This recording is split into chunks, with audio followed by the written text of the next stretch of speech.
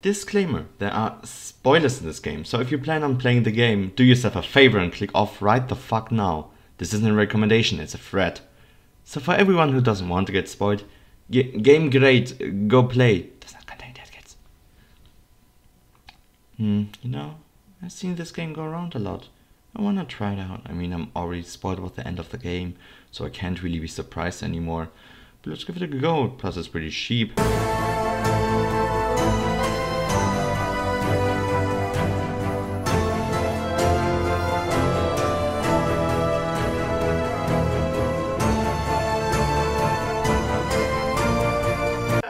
Hollow Knight, a game made by the Team Cherry, which consists of three Aussies in Adelaide and funded by Kickstarter money, is considered one of the many great indie hits of 2017 and, in general, a well-known game in the Metroidvania section. In this game, you play a scrunkless, French-shaped little empty fella arriving in the Kingdom of Hallownest, a once well-inhabited kingdom full of bugs which fell to ruin due to a mysterious and suspicious reason. Your task now is to explore the kingdom, gather abilities, learn more about its story, make your build with charms, challenge bosses and save the world. I guess. But what happened? What is the infection and where did it come from? And why are there thousands of dead kids? We will get to these answers eventually, because this game looks like simple like, oh, bug game, look buggery. But it has a dark. So quite a lot of years ago, there was a worm, and it died. But it got reborn into the Pale King, and he and his 12 foot tall tree wife mommy created Hallownest, the last civilization, I don't know, Ohio? It gave the bugs the mind. Outside the kingdom, it would fade and leave you mindless. It's called the Outlands or something, but my head canonical name for the for it is the section of TikTok where they fake Tourette's and autism for views. You are a part of the problem. So the kingdom was great and full of life, but you know it won't for long, don't ya? So it turned out that before the Pale King arrived, there were two native civilizations, a moth tribe and a mysterious, devious, quite grim civilization called the Void Kingdom, or the Ancient Caste, or the Or actually I don't care, it's Florida. And this moth tribe worshipped a god called Radiance, and she didn't like the fact that they worshipped the Pale King and went into forgottenness all of a sudden. So she spread an infection claiming every life that had a mind and feelings with the orange juice. And just like every kind of native civilization, it is a problem. And so we reacted by sealing her away with three dreamers and a black egg, leaving Hallownest in a permanent private setting until now, because the seal is fading and the infection even worse. So now every remaining bug in the kingdom is either infected, dead, or fighting for its life to protect themselves from the infection. And that's what we're going to do, baby! Hollow Knight is a Metroidvania, meaning that you explore a huge area and gather items and new abilities to further explore the world around you. You get a dash, you can get there, you get Mantis Claw, you get there, you get a double jump, you get over here, and brain aneurysm. Lore is also scattered around the game with lore tablets such as dialogue in every corner of this anthill of a map. At one point in the game you acquire a Dream Nail, which lets you explore the thoughts and minds of characters and enemies to progress the game and give you even more lore about the game. Oh, spicy! What also spices up your gameplay are charms Charms are equipable items that give you small improvements or changes to your playstyle. For example, long nail makes your na makes nail long, or shaman stone, which makes your spell do more damage and be bigger. Some even, even give you scrunches and special synergies such as Flukenest and Defender's Crest, which combine to into a giant exploding worm instead of the small flukes that Flukenest normally shoots out. Damage is unfortunately a tad bit disappointing, so we don't recommend using it. The exploration is also key of the game. That's why you get a map guy called Cornifer to suit you up with some juicy cartographic goodies. And believe me, you will get lost. So without telling you all of it, your playstyle consists of exploring, gathering, listening, not talking, this knight is as talkative as a shoe, and fighting foes in this beautiful world, and I think it's time to talk about that specific category. He's pulling his cock out! If you don't have any blues clues to what I'm talking about, don't worry, neither do I. I just had to find a term to fit the art style and music to the game in one. So starting off with the art style. It's quite unique. It's not extremely detailed like most games, nor does it have a quirky art style with dark themes. It more makes you think, Ah, this cranky. The characters are simple yet interesting to look at. It's something that you mostly can't really tie to real world examples, and the environment and backgrounds, on the other hand, look beautiful, hand drawn, and designed. Overgrown areas look vivid and full of life, and more structural areas look perfectly fitting to society made by insects, and they are looking calm and almost homely. Some areas fit also perfectly to the game's emotional setting, as the game is in most areas very, uh, blue. City of Tears is a perfect example. The constant rain and oh, and especially the music, but I wanna get that about later, fit perfectly into the sad setting of being in London, Great Britain. The architecture of the buildings in Helens also give off an interesting feeling to this, odd perspective of bugs building structures and cities, and it just looks magical. Speaking of magical, let's talk about the music. Fucking finally! The sound direction and music was made by Christopher Larkin, and let me just say, we don't, we do not, we do not deserve this god tier music. I, I can't even fucking describe this music well enough. Just listen for God's sake.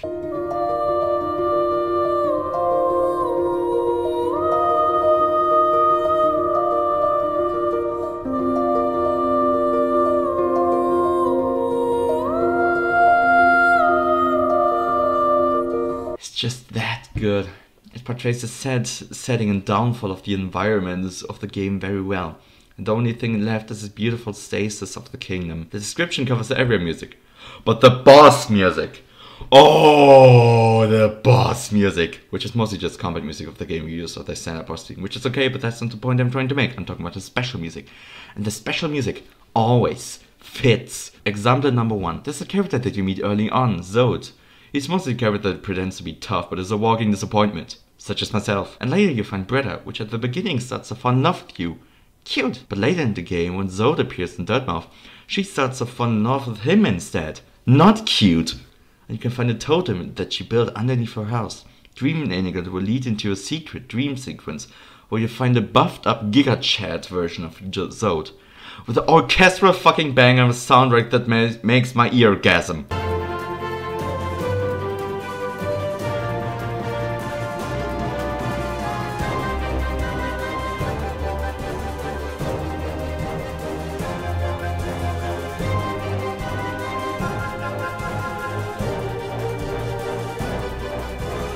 Example number two. Early into the game, you stumble upon a mantis village that kept the infection successfully away from them, and you venture deep into the village to challenge the leader. And let me just say this. I think that the conversation for this track in Team Cherry's office went like this. Okay, Chris, here's like a village full of mantises. Now, I want you to take the special track for it. It needs to be like hectic and make the pl player focus, but don't go too hard on it, okay?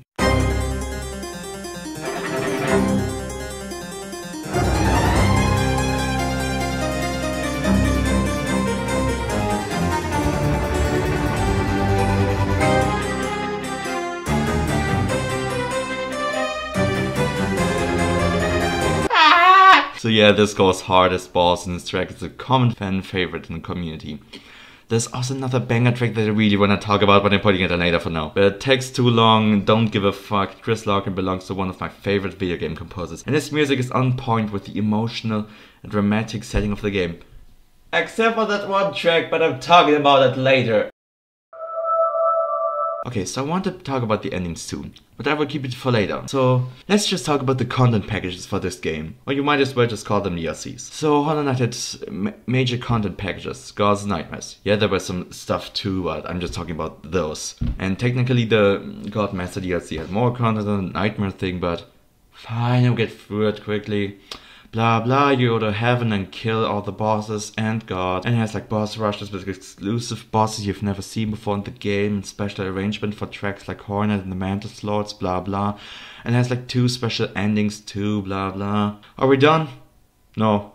Don't care, let's talk about Satan. Also in addition, the Godseeker calls every kind of boss there a god but uh, this also includes the massive moss charger. My idea is she, she, would pick up a stray dog that just looks like he has seven diseases at once and will, and just refuses to die and will call the god and put it in the fucking pantheon. Alright, the Nightmare DLC thingamajig. Through a hidden lantern you bring the Grimm Troupe to Dirtmouth, which collects nightmare essence to feed a higher being, the Nightmare Heart. And it does that through rituals involving babysitting and sacrificing Grim and his future offspring. And this True Grimm, let me say, I ain't gay. But him. I have several reasons why I love this fucking dude so goddamn much. Numero uno, introduction.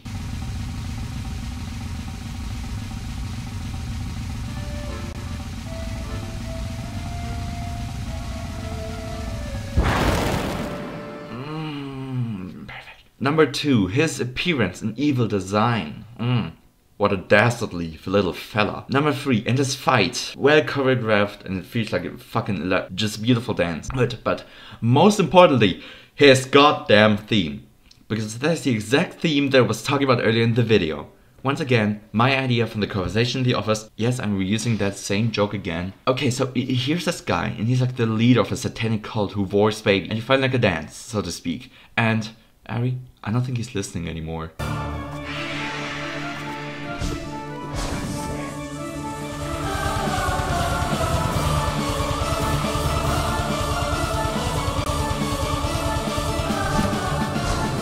This man has the perfect fucking music for this fight.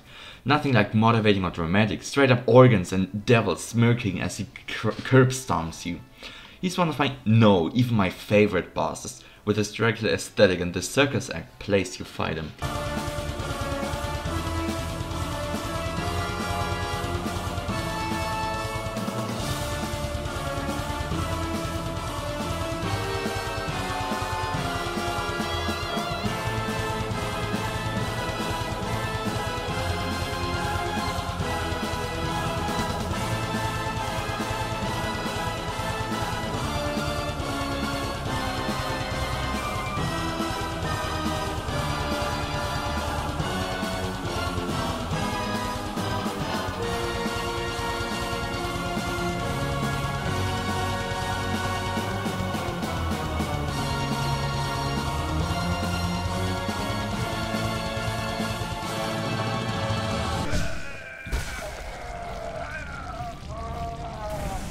So yeah, he cool.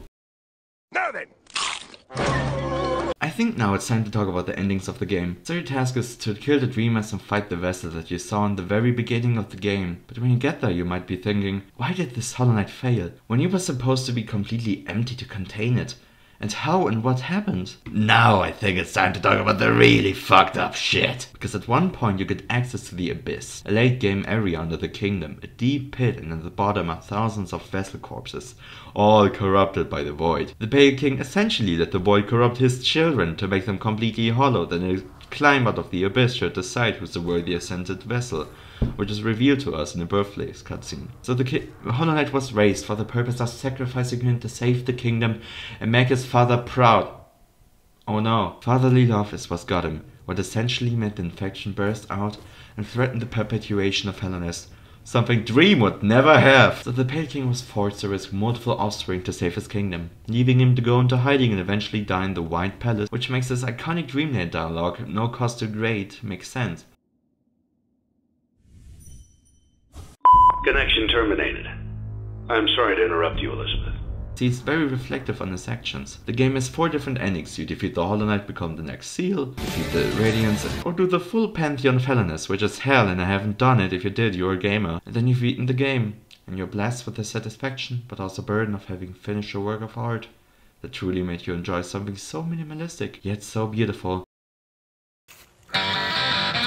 Community, modders, musicians and artists and many more keep this game alive with a thriving community and they will not stop to enjoy this game and the lore in the fullest. People are making things like skin mods, some major content mods for Hollow Knight. There are people even making a fully voiced mod for the NPCs in the game. Waiting for the handsome little boys right there. So, it was you who called us. Ah! And Weebles Jeebles, who's drawing the Knight poorly for every day until Silksong releases. So all in all, it's a great community, and they're all waiting patiently for Silksong. You might ask, what's Silksong? I think it's time, me boy. So, in Hollow Knight's Kickstarter, one of the stretch, stretch goals was to add a second character, Hornet, the gendered sibling who you encounter multiple times in the game even fight twice. The stretch goal was met, and after the second DLC was done, it was time to work on it. Except there were some difficulties, because Hornet was too big for some spots in the map wilderness that you wouldn't get through. So the DLC was cancelled, and what did they do? Make a whole fucking game instead! Heck, why the fuck not? Are you tired of the sad and mostly dark atmosphere and vibe of the game? Have a more optimistic and colorful color palette instead. Are you tired of having only like three civilizations in Hollow Knight and all of them are dead? Have multiple cities and towns with their own NPCs. Even Chris Larkin's back with the music and now he even has access to the full fucking orchestra instead of just running on digital music, which isn't that bad, but you know, more fleshed out combat system, bigger areas, a more agile playstyle, and even big golem. Ah, that's really cool and amazing. Let's see when the last update was posted.